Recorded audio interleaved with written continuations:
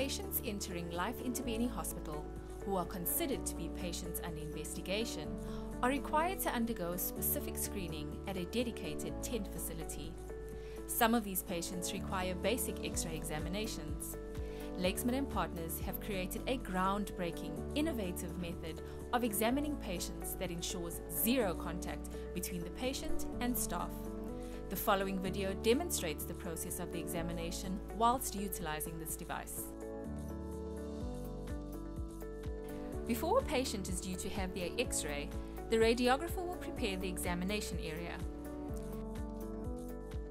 Being mindful to adhere to social distancing, the radiographer calls the patient to the dedicated examining area. The radiographer then proceeds to usher the patient into the cubicle and instructs them on how to stand for the x-ray. Once the patient is correctly positioned, the radiographer commences with the x-ray.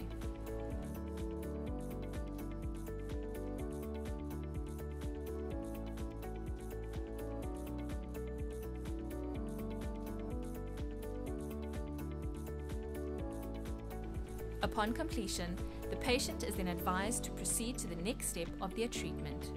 This quick and innovative method of examination allows for the entire procedure to be completed in under five minutes. After each patient, the cubicle is thoroughly sanitized.